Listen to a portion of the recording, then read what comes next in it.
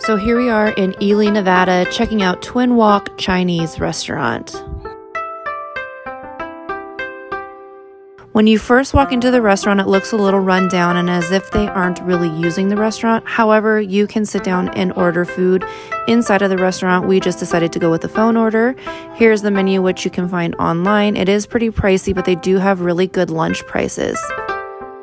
All right, so the restaurant looked run down, but here's what the food looked like. They have a four and a half star Yelp rating. You guys, I always go with the people. If the people say it's good, it's gotta be good, right? This Chinese food was to die for. We really enjoyed ourselves and we tried a lot of different things. Highly recommend.